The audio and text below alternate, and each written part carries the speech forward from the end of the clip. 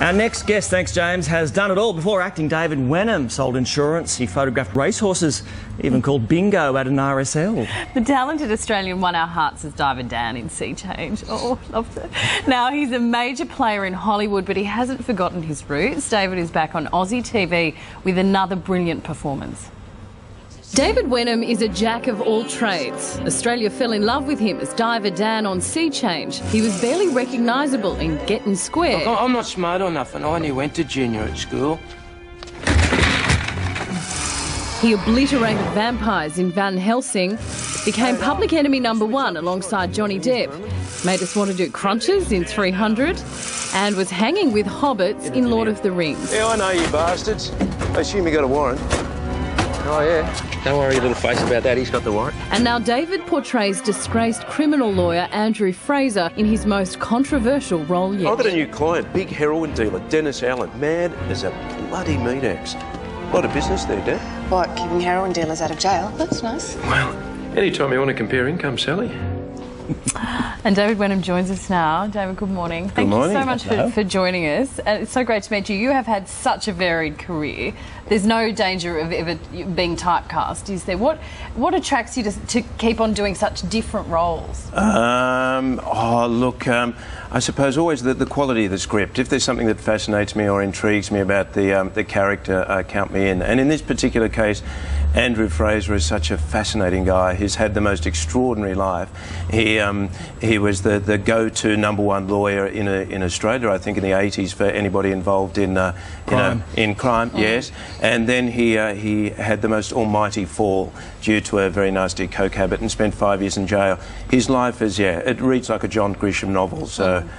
Do you still have pictures of racehorses hanging in your house anywhere, David? Uh, no, no, no. I think you're referring to the fact that I filmed the trots there to put myself through uh, drama school, but no, no, no. Those days are gone. Can I just say that I, I, what I love about about the show, and Australia is fascinated with uh, true crime. And I committed true crime to steal the DVD off somebody's desk because of two names. One, yours, and you know how much I love you, and Ian David, who was Yeah. responsible for Blue Murder, one of the great pieces of Australian TV. Is that what gets you in, that kind of talent? Yeah, undoubtedly. I had a meeting with um, with Ian and one of the producers. I think about six months before we shot the series, and he spoke oh, for probably about two hours about um, about Andrew's life, and then I was presented with Andrew's two books. I read them, completely compelling. So the Ian David, Katherine Thomson, another um, great Australian writer, Peter Andrikidis, who set up the um, the show as a director. He directed the first Underbelly and East West 101. It's that sort of pedigree of people, and it's like, yeah, count me in.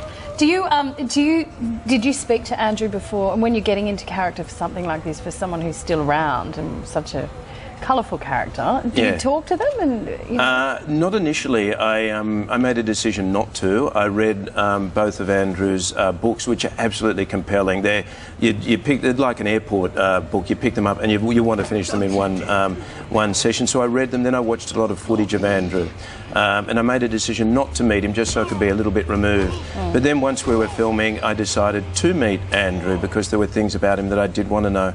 And I'm glad I did. He's, a, he's truly a fascinating, compelling character. Slightly different preparation for you then. Uh, sex, drugs, kind of rock and roll in this role. Hmm. I'm Where- not method, No, uh, no, no, of course, in this of course. yeah. But in something like 300, it was all ab Oh, work. You Completely have- method there. Yeah, yeah. Yeah. Yeah. So you didn't have to do any of that kind of physical stuff. Do you, when you're faced with those challenges, do you love it? I did, well, 300, uh, yes, that was, uh, that was a bit of a nightmare, actually. Um, five months of intense training, and yeah, that, that was difficult, but I'm, you know, I reaped the rewards. Uh, I'm certainly not that fit now and never will be again. but in terms of the physical preparation for this role, Ed, you sh- Andrew does age over that period of time um, considerably, so I had to uh, sort of work on how I was going to do that in a very limited period of time, which was tricky. okay. Um, really, really quickly because we have to. What's next for you? What can we see? Uh, just begun shooting a, a, a telly movie called Dripping in Chocolate, which is essentially a whodunit, a fun little project, Cool. um, with a, a wonderful uh, English actress called Louise Lombard. All right, David Wenham, thank you so much. Killing Time is a sensational Yeah. bit of work. Very quick mention for David Wenham's new show, Killing Time. It begins on TV1 next Wednesday at 8:30. It Check is it brilliant. out. I've seen about the first four episodes. Sensational. And he's telly. sensational. He's I was a bit oh, flustered Really? seeing him I in was, here. I was going to ask you, oh. Sammy. Were we hmm. a bit excited about Can't seeing? you tell? I got a little bit, you know, can't uh, speak.